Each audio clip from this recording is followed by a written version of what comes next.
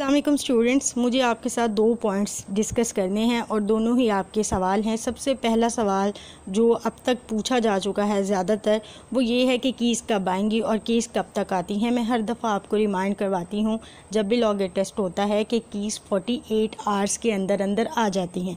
अब क्योंकि दो दिन हो चुके हैं लॉग गेज को हुए तो कभी कभी ऐसा हो जाता है कि तीन से चार दिन भी पड़ जाते हैं।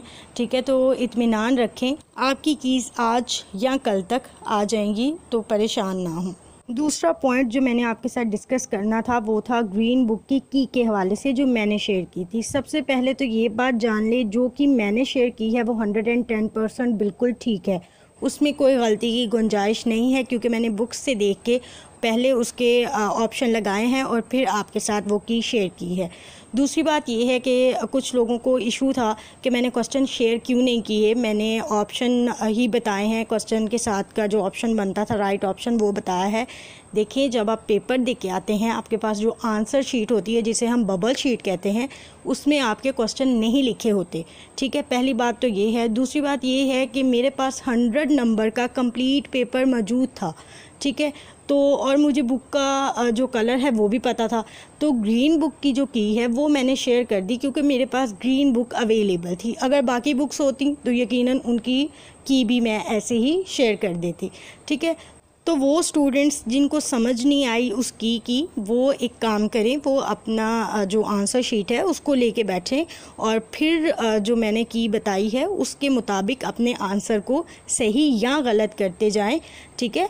तो आपको आपके जो नंबर हैं वो पता चल जाएँगे। एक आखिरी बात जो मुझे करनी थी वो ये थी कि स्टूडेंट्स बार बार ये बात कर रहे हैं कि लॉगे टेस्ट में कोई गलती थी और हमें ग्रेस मार्क्स मिलने चाहिए।